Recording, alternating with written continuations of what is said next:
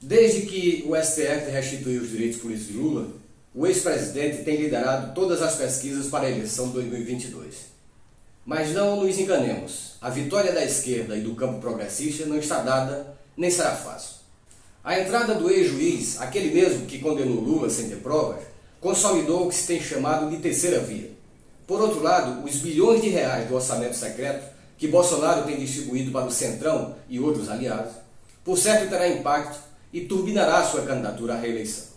Isso significa que a esquerda terá de enfrentar dois candidatos de extrema-direita, que terão o apoio do chamado mercado e da grande mídia. Assim, chama a atenção para o fato de que, se as pesquisas hoje nos são favoráveis, não nos garante a vitória nas urnas em outubro. Por isso, precisamos estar juntos para fortalecer a luta que é de cada um de nós.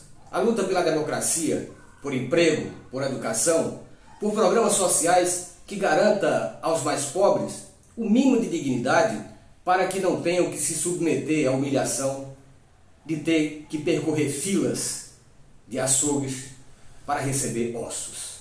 Precisamos estar juntos para combatermos as fake news e toda sorte de calúnia que virão, mas também para divulgarmos as propostas que novamente farão do Brasil um país para todos e respeitado no exterior.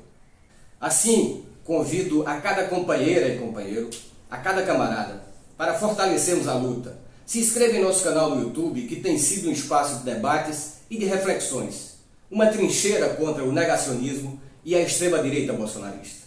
Participe de nossos grupos de WhatsApp. É hora de estarmos juntos. Portanto, vamos reforçar a luta, que, como disse, é de cada um de nós.